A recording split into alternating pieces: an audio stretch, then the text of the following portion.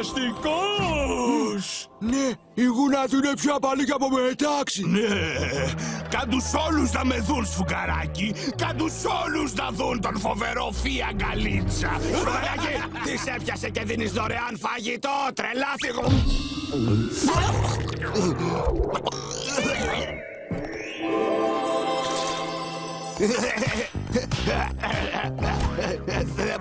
Δεν μπορώ να αντισταθώ στη γούνα του.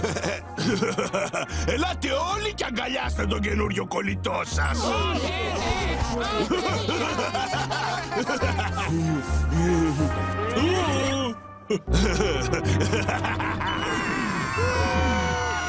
Όχι, βία γκαλίτσα, όχι! Ναι, Μπομπ Σφουγγαράκι, ναι! Συγγνώμη που άργησα, εγώ...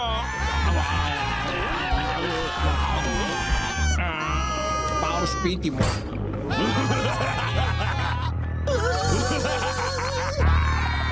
Νόμιζα ότι είμαστε φίλοι!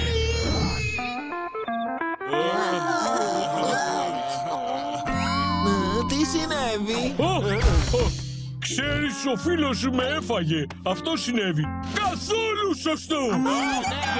Ναι, χάλια.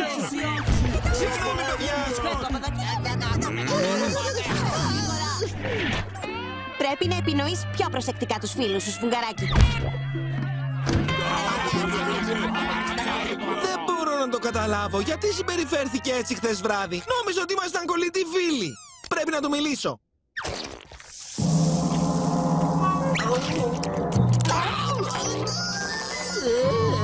Τρελή νύχτα χθες. Τι λες, κολλητάρι; Μη με λες κολλητάρι!